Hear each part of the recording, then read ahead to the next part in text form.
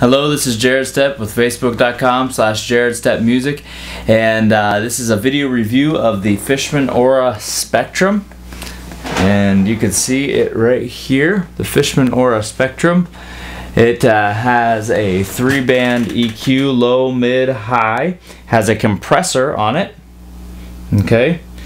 Um, it also has a blend knob, which is a blend between um, the natural sound of the guitar and the model uh, that you're using. This this is basically it's a it's a direct box. It can be used as a direct box, um, but it is an acoustic modeler. It's trying to model what you would do if you were to mic uh, an acoustic guitar uh, with you know a great studio mic. Um, give it that extra air and that extra presence that you would want in the studio in a live setting. Um, it has a great tuner on it. It uh, it can it can bypass well. It has an effects loop on it that you can send through it. It through has a phase switch, has a trim on it, um, a volume, and it has 16 um, banks of models. And there is I'm sorry, um, one, two, three, four, five, six, seven, eight banks of models, and there's 16 per, 16 um, presets per model. And you can um, hook it up to your computer and you can load your own presets into it. Uh, you could put user images in it. And basically, it's supposed to um, find the image of your specific guitar and um, and make your guitar sound like it is being played in a studio with a great studio mic. And and it does a good job at that. So to demonstrate that I'm gonna I've got my Taylor 810 CE and here it is acoustically on a studio mic right? This is the M Audio Sputnik I'm playing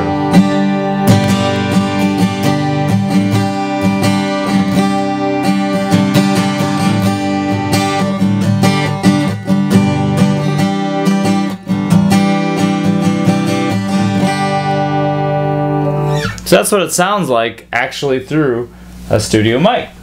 Now let's put it into the Fishman Aura Spectrum and see what it does with that.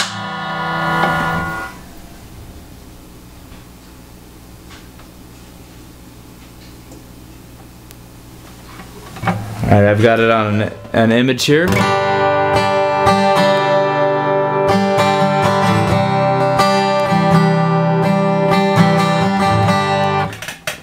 I'm gonna go to a dreadnought image here.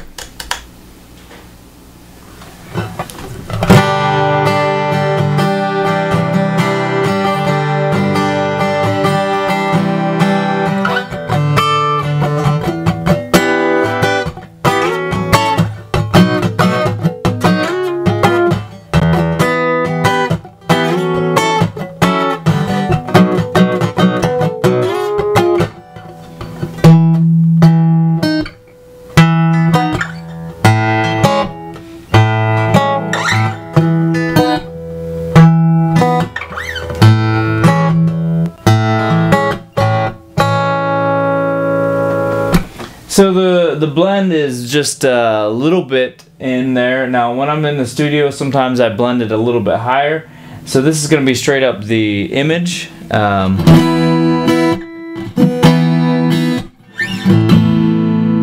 gonna hear some more air there. I'm gonna blend it back down about two thirds image.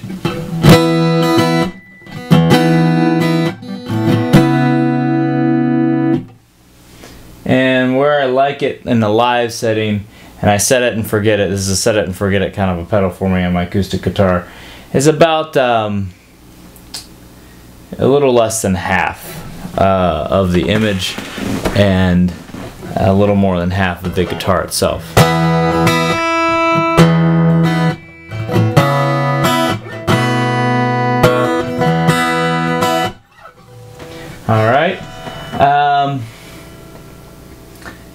The EQ setting, normally I cut a little bit of the highs, cut a tiny bit of the lows, add a tiny bit of mids.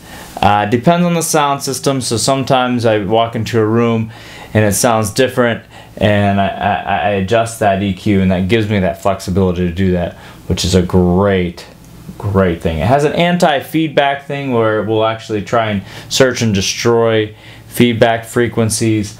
Um, I haven't been able to use that effectively yet. Um, I've tried it a couple times and it's never quite worked out. Um, the tuner is awesome. I use that all the time. Um, but I set it and forget it in terms of the setting that I'm looking at. I set it for whatever guitar I'm using, have it already set when I come into a gig, and then just um, just run the run the guitar right through it. Um, this is the first thing in my acoustic rig before my volume pedal and before the HD, the Pod HD 500 that I send it through as well. Any any other effects that I put on, I put on after this because this is I want this to be good. To, to me, this is kind of tonally part of the uh, the sound here. You can do a lot of things with it. Um, you can go over to this kind of bluegrass. Um, thing and and change the the sound of your guitar significantly then um,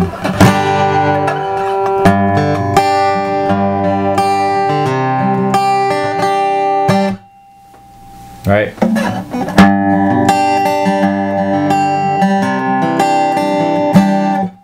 There's some kind of mandolin things and stuff in there. Um, but I don't use it for that. I use it to make my acoustic guitar sound better. Um, I, I use it even more often to make my hybrid guitars sound more acoustic. So let me show you what that's like. Um, I have here my Parkwood hybrid. It is actually an electric guitar, obviously has electric guitar strings. Um, most hybrids do. I have an Ibanez Montage, which is a hybrid guitar that that's built for acoustic guitar strings. That's a rare thing. The only other one that I know of is the um, Crowdster, uh, which is a very expensive, very awesome guitar. All right, so so this is on the straight up piezo. Um, all you're hearing is the piezo pickup of this guitar. Um, you know, acoustically, this is what it sounds like. All right. Now here we go.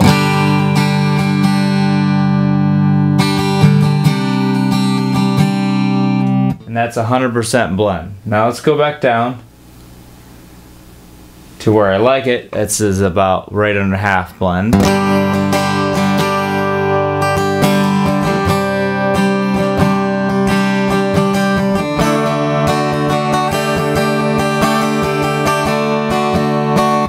Now Fishman tells will tell you that this is not what this um, unit is built for. It's not built to make a uh, electric guitar sound more acoustic or a hybrid guitar sound uh, better acoustically. Um, however, it, it, it helps. I found that it helps my acoustic sound. I'd rather have it than not.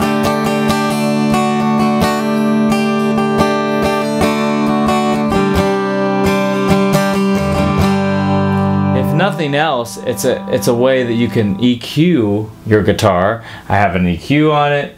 I've got a tuner on it, which I need. I need uh, some compression. Um, and then it sweetens up that acoustic sound just slightly and uh, I can EQ out some bad frequencies or put in some good frequencies per whatever gig I'm in. But ultimately, it is a set it and forget it pedal for me. It's a great pedal. Um, I got it on the used market again, uh, pretty cheaply, and uh, it's it's a pretty expensive pedal new, um, but it's high. It's it's a high powered pedal, very worth it, and I, I